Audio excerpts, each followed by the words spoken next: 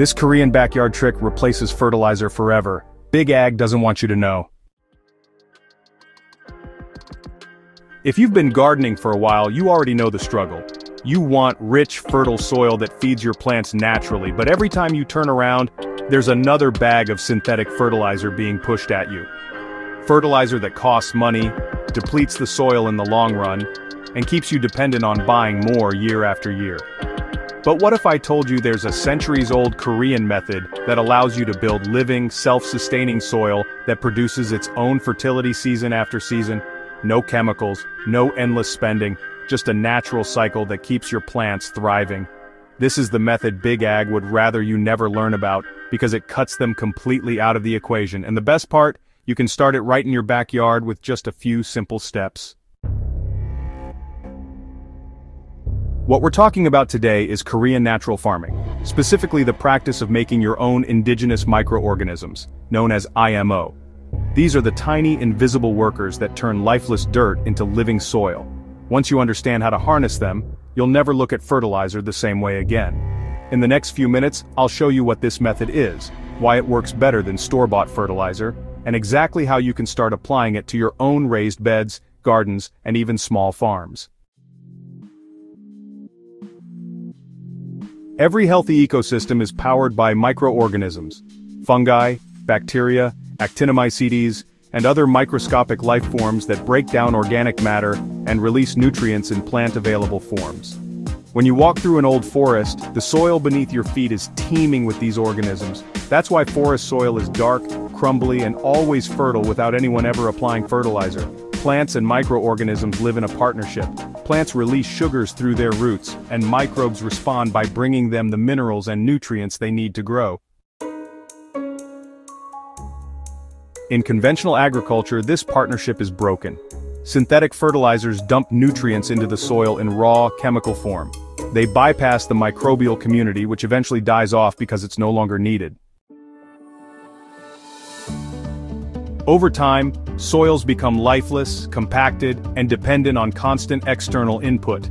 That's the cycle Big Ag profits from, but gardeners don't have to accept it. Korean natural farming restores the microbial community by reintroducing the very organisms your soil is missing. The heart of the method is capturing and multiplying indigenous microorganisms from your own environment. These are microbes that have already adapted to your climate, soil type, and local conditions.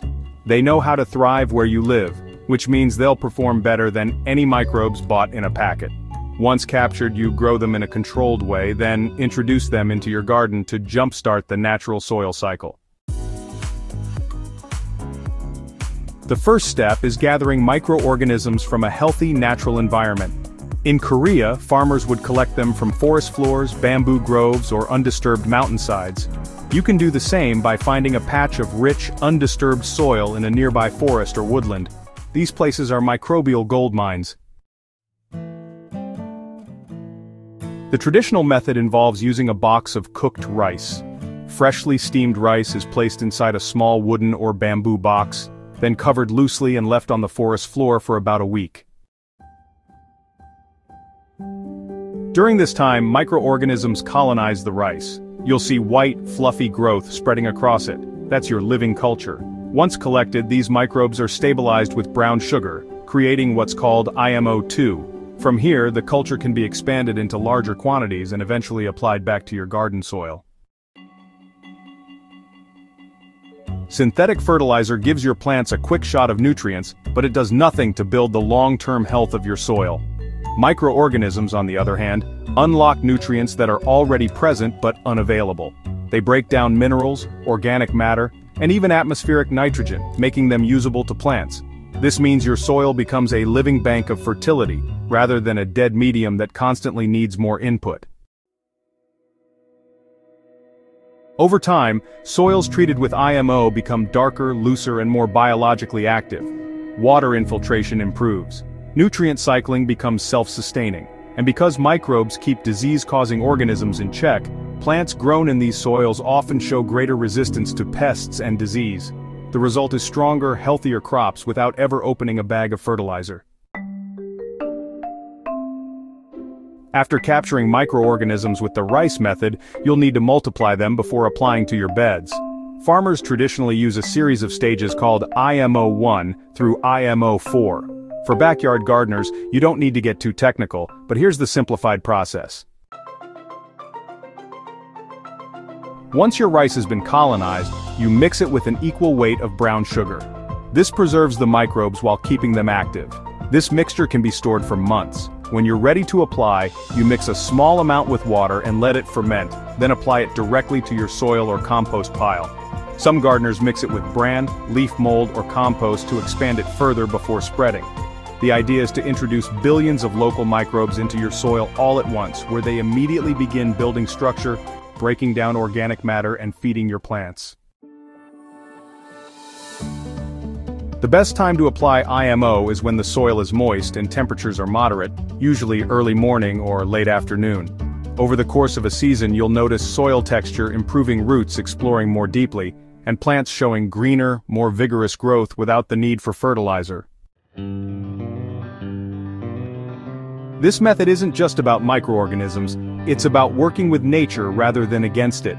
Korean natural farming teaches that everything the soil needs is already present, if only we know how to unlock it. Instead of importing inputs, we recycle what's around us. Leaf mold, crop residues, animal manures and simple ferments.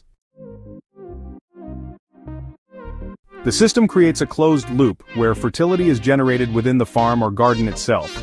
It's sustainable, low-cost and deeply effective. The philosophy also stresses observation. Every garden has its own personality. When you start working with IMO you'll notice changes in the soil, in the smell, in the way plants respond. This connection builds a deeper understanding of your land. And unlike chemical fertilizers, which keep you dependent, natural farming empowers you to become the true manager of your soil's health. The reason you don't see this method promoted in gardening stores is simple. It doesn't make money for fertilizer companies. If every gardener and farmer started producing their own fertility using microbes and natural inputs, the billion-dollar fertilizer industry would collapse. That's why these methods are, you know, rarely discussed in mainstream agriculture even though they've been proven effective for centuries in places like Korea, Japan, and the Philippines. But in the gardening community, word is definitely spreading. And once you try it, you'll totally understand why it's so powerful. The Korean backyard trick of cultivating indigenous microorganisms is honestly more than just a technique. It's really a pathway to independence. It allows you to break free from synthetic fertilizers, restore the natural cycle of your soil, and grow healthier, more resilient plants year after year. With just a little rice, sugar, and patience, you can set in motion a system that keeps feeding your garden forever. So, if you're serious about gardening and you want to take your soil to the next level, this is your chance. Start small, observe the results, and just build from there. Your soil will thank you, your plants will show the difference, and honestly, you'll never look at fertilizers the same way again. If you found this guide valuable, don't forget to subscribe to Soil Engineer on YouTube, where we dive deep into the science and practice of building living soils. Share this video with fellow gardeners, because the more people who learn these techniques, the stronger our gardening community becomes. Let's spread the knowledge that Big Ag doesn't want us to know, and keep building soil that feeds us forever. Top 5 Plants to Revive Dead Soil 2025 Guide If your soil looks lifeless, hard as concrete, and refuses to grow anything beyond a few weeds, you might think the only solution is buying loads of fertilizer or trucking inexpensive compost. The truth is, soil can be revived from within. Nature has its own repair crew, plants that specialize in breaking up compacted ground, fixing nutrients, and rebuilding microbial life beneath the surface. These plants don't just survive in poor soil, they actually improve it for everything that follows. This is not just theory, it's a practice that farmers, permaculturists, and home gardeners have been using for decades, and in 2025, with soils around the world under stress from chemical overuse and climate extremes, knowing which plants can bring life back to your garden is more important than ever. In this guide, we'll walk through the top 5 plants that can transform dead, depleted soil into rich, thriving ground for vegetables, fruits and flowers. So, let's get straight into it. Few plants can penetrate compacted soil like daikon radish. Sometimes called tillage radish, this root grows long and deep, punching through clay and hardpan layers that most roots just can't touch. When the radish dies back it leaves behind channels that act like natural pipes for air, water, and microbial life. Daikon radish also brings nutrients from deep in the soil up to the surface layers. The decomposed root matter becomes organic material that feeds earthworms and beneficial fungi. Over time, this turns lifeless dirt into a friable, breathable soil structure that vegetables and fruits really love. The key is to let the plant grow to maturity, then leave it in the soil to decompose naturally instead of pulling it out. Nitrogen is often the first nutrient to disappear in overworked soil. Without it, plants struggle to put on leafy growth, and soil organisms slow down. Clover, especially red and white clover, is one of the best living tools for restoring nitrogen. So, clover is a legume, which means it partners with rhizobium bacteria in its roots to capture nitrogen directly from the air and store it in the soil. Plus, clover spreads into a soft green carpet that protects bare soil from erosion and sunbaking. Its fine roots really help improve soil tilth and prevent crusting on the surface. After a season of clover, you can either mow it down and let it mulch in place, or turn it lightly into the soil to release its nitrogen. Honestly, it's a low-maintenance, high-return plant that every gardener should use when reviving worn-out soil. Alfalfa isn't just for livestock. Gardeners who want to wake up tired soil use alfalfa because of its deep, powerful root system.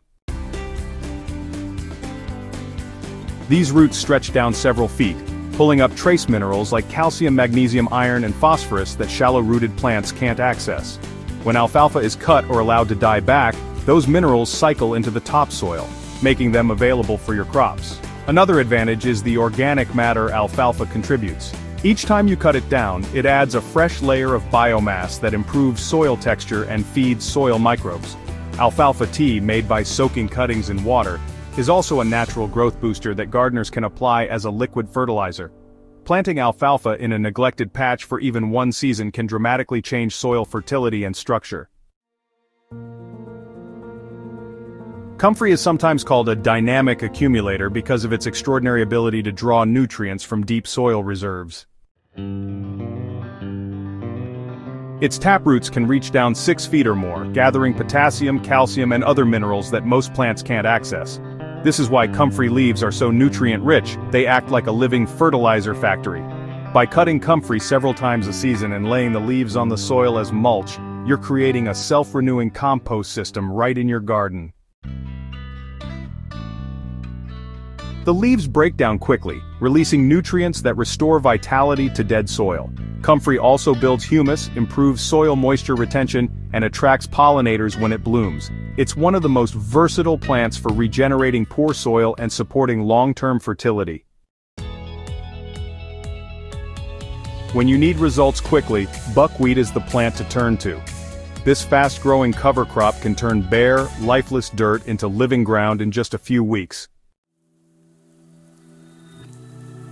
Buckwheat is particularly good at making phosphorus available in the soil, a nutrient essential for strong root and flower development. Many soils that appear dead actually have locked up phosphorus, and buckwheat unlocks it. Buckwheat also shades out weeds, prevents erosion, and provides masses of organic matter when it's cut down. Its roots loosen the topsoil while its flowers attract beneficial insects like bees and hoverflies. Even a short buckwheat planting between main crops can spark new life in soil that otherwise struggles to recover. While each of these plants can revive soil on its own, their real power comes when used in rotation or combination. A season of daikon radish to break compaction, followed by clover to fix nitrogen, then buckwheat to free up phosphorus creates a soil-building sequence that renews the ground faster than any store-bought amendment. Add comfrey on the edges as a constant nutrient source and alfalfa in deeper beds, and you're essentially running a full-scale soil restoration program powered entirely by plants. This approach doesn't just make soil fertile, it restores the natural balance of biology and structure. Earthworms return, fungal networks rebuild, and the soil becomes a living ecosystem again. That's the foundation every gardener needs for consistent harvests without being dependent on synthetic fertilizers. Reviving dead soil is not about quick fixes or chemical shortcuts, it's about working with nature's own repair team, plants that specialize in healing the ground. Daikon radish drills deep and opens airways, clover rebuilds nitrogen, alfalfa mines minerals, comfrey produces living compost, buckwheat restores.